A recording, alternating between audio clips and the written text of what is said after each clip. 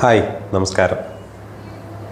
അതായത് ലോകത്തിലെ തന്നെ ഏറ്റവും പ്രസിദ്ധി നേടിയ അല്ലെങ്കിൽ ലോകത്ത് തന്നെ ഏറ്റവും അറിയപ്പെട്ട ആരോഗ്യ മന്ത്രിമാരുടെ ലിസ്റ്റിൽപ്പെട്ടയാളാണ് കേരളത്തിന്റെ എൽ ഡി എഫ് ഭരണകാലത്ത് ഉണ്ടായിരുന്ന ആരോഗ്യമന്ത്രിയായ ശൈല ടീച്ചർ അല്ലെങ്കിൽ നമ്മുടെയൊക്കെ ടീച്ചറമ്മ. സൈബർ ഇടത്തിൽ നിന്നും സ്ഥാനാർത്ഥിയായതിനു ശേഷം ശൈലജ ടീച്ചർക്കെതിരെ ഉണ്ടാകുന്ന സൈബർ ആക്രമണങ്ങൾ വളരെയധികം പരിധി കടന്നുപോയിരിക്കുന്നു. യു ഡി എഫിന്റെ ഭാഗത്തുനിന്ന് വിശിഷ്യ ലീഗിന്റെ ഭാഗത്തു നിന്നൊക്കെ വളരെ നീചമായ രീതിയിലുള്ള ആരോപണങ്ങളും ആക്ഷേപങ്ങളുമാണ് സൈബർ ഇടത്തിൽ പ്രചരിപ്പിക്കുന്നത്.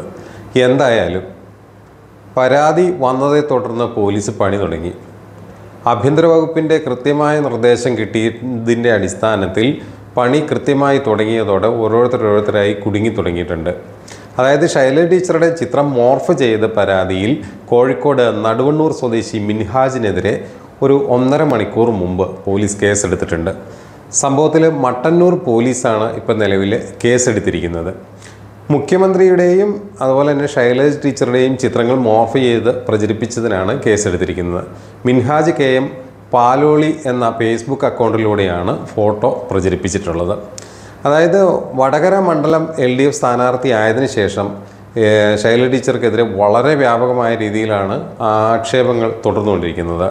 കോൺഗ്രസ് അനുകൂല ഗ്രൂപ്പുകൾ വീണ്ടും അശ്ലീല ഫോട്ടോകളും മറ്റും പങ്കുവച്ചിട്ടുണ്ട്. ഇന്നും അത് തുടരുകയാണ്.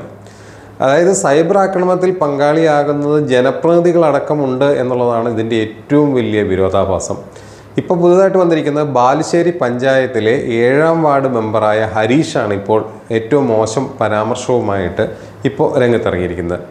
ശൈലജ ടീച്ചർക്കെതിരായ അശ്ലീല പ്രചാരണത്തിൽ പ്രതിഷേധവുമായി പുരോഗമന കലാസാഹിത്യ സംഘം രംഗത്തെത്തിയിരുന്നു.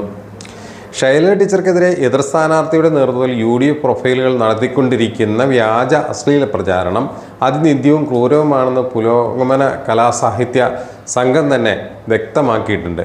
എല്ലാ ജനാധിപത്യ മര്യാദകളെയും മൂല്യങ്ങളെയും കാറ്റിൽ പറത്തിയാണ് ഇത്തരത്തിലുള്ള സൈബർ ഇടത്തെ ആക്രമണം മുന്നോട്ട് പോയിക്കൊണ്ടിരിക്കുന്നത്.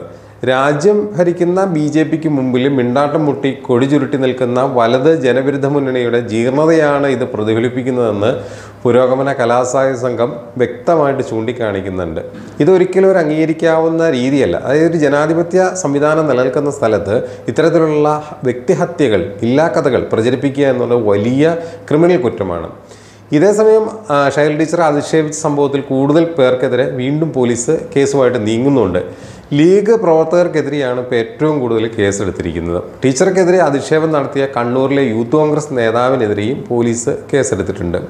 സൈബർ ഇടത്തിൽ ഒരു വ്യക്തിയെ സ്ഥാനാർത്ഥിയാകട്ടെ മന്ത്രിയാകട്ടെ മുഖ്യമന്ത്രിയാകട്ടെ ഏതൊരു സാധാരണ പൗരനെതിരെയും ഒരു പരിഹാസ്യമായ ആക്ഷേപകരമായ നിന്ദ്യമായ ഇത്തരം പ്രചാരണങ്ങൾ ഒരിക്കലും അംഗീകരിക്കാൻ കഴിയില്ല അതിനെ ഒരിക്കലും വച്ചുപൊറുപ്പിക്കാൻ കഴിയില്ല. ഇത്തരം തെമ്മാടികൾക്കെതിരെ അത് ഏത് മുന്നണിയുടെയോ ഏത് പാർട്ടിയുടെയോ ഏതിന്റെയും ആകട്ടെ ഇത്തരം തെമ്മാടികൾക്കെതിരെ അവരെ അങ്ങനെ മാത്രമേ വിളിക്കാൻ കഴിയൂ. അത്തരം തെമ്മാടികൾക്കെതിരെ കൃത്യമായ നടപടി ഉണ്ടാകേണ്ടിയിരിക്കുന്നു. പുതുതായി ഉണ്ടായിക്കൊണ്ടിരിക്കുന്ന പോലീസിന്റെ നടപടി സ്വാഗതാർഹമാണ് എന്നാണ് പറയാനുള്ളത്.